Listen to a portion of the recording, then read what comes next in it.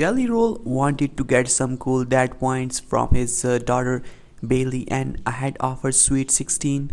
So the country star took to her out of school to fly her out to his uh, stagecoach performance over the weekend.